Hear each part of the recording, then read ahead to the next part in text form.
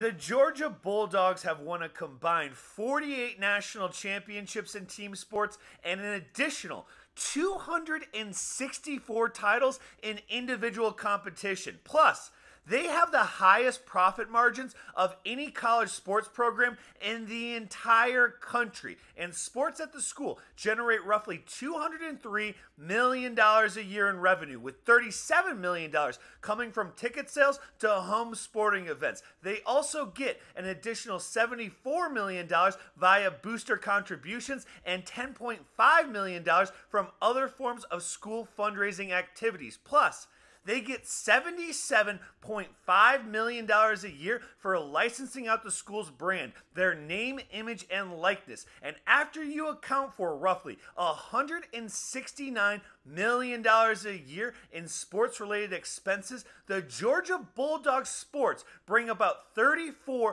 million a year in profit to the school.